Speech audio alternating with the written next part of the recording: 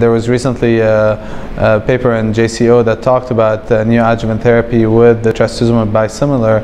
It seemed to be safe, it seems to be well tolerated, and there was no difference in the pathologic complete response to neoadjuvant therapy either with trastuzumab or trastuzumab biosimilar.